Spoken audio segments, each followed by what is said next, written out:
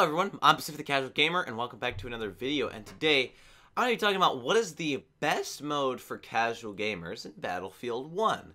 And this is something that is a very hard question to answer because you have to take into account a lot of things and Battlefield 1 actually does a great job of hiding the game mode that is best for casual gamers. And let me tell you right off the bat, the best mode for casual gamers is not Conquest, it is Rush.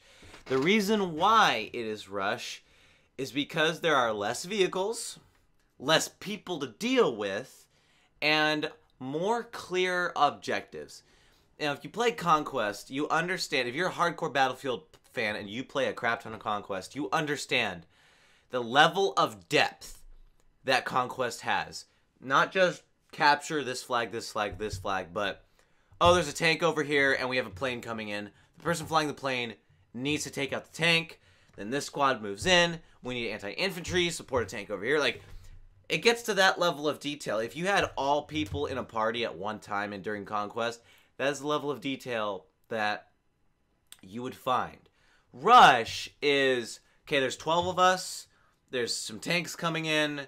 We got to defend this this objective, or we got to protect the tanks so we can attack this objective. Very simple.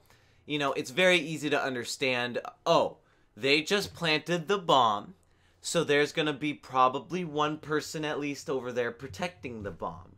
Or, hey, I should protect this objective. I can either do it by staying in it or guarding the path to it. Very easy to understand. Also, there's less sniping in Rush. Well, unless you play Sinai Desert, then there's a crap ton of sniping, but other than that, not a lot of sniping, at least for me in Rush, especially on the closer quarters maps. You know, it's a lot of SMG and assault, not assault rifle, sorry, semi-auto rifle action going on there. Sometimes LMGs, but not a lot. And now if you play the Russian maps, the Russian maps are a different story. If you're into long-range gunplay and that's all you do and you're casual, Russian maps, lots of long range. And now if you don't know how Rush works, you have one team has a certain number of lives.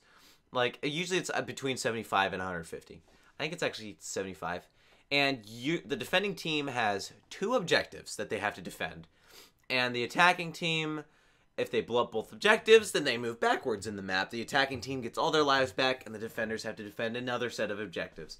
This happens until either all the objectives are blown up, or all the attackers lose all their lives.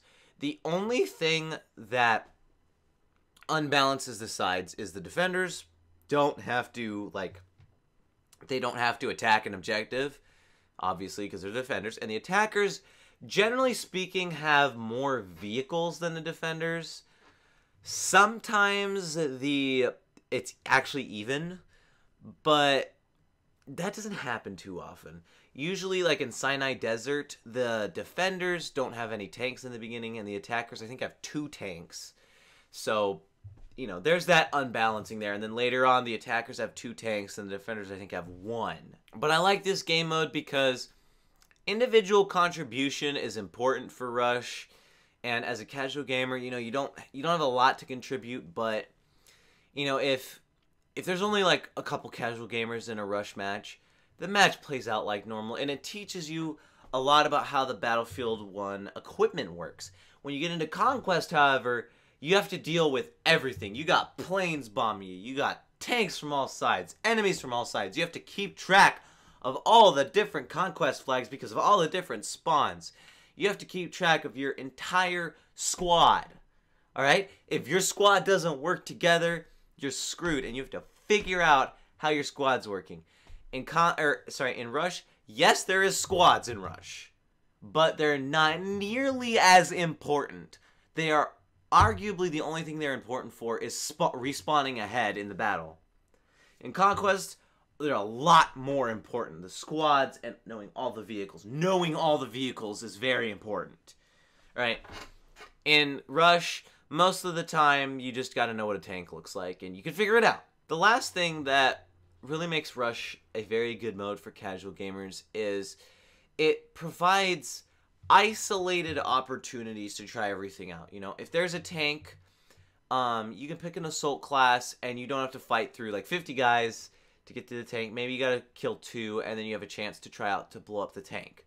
Sniping, you know, sniping, it's closer quarter sniping, and it's very easy to learn how to snipe in Rush. So if you do want, if you're a casual gamer, you know, but you want to learn how to snipe in Battlefield 1, playing a lot of Rush will help you. You're not going to be very good, but it'll still help you a little bit. And so that's it, guys. This is a video about Rush and why it is the most, the best mode for casual gamers in Battlefield 1.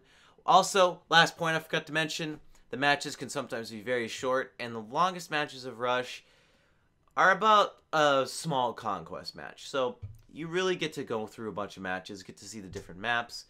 And yeah, I'm Pacific the Casual Gamer. You can subscribe for more videos about casual gaming. Sometimes I give weapon tips too, and just tips about actually playing the game. Maybe you want to speed up your process and you don't want to be bad at them. All that stuff. I will see you guys in the next episode stream or vlog or Steemit post of whatever I decide to make.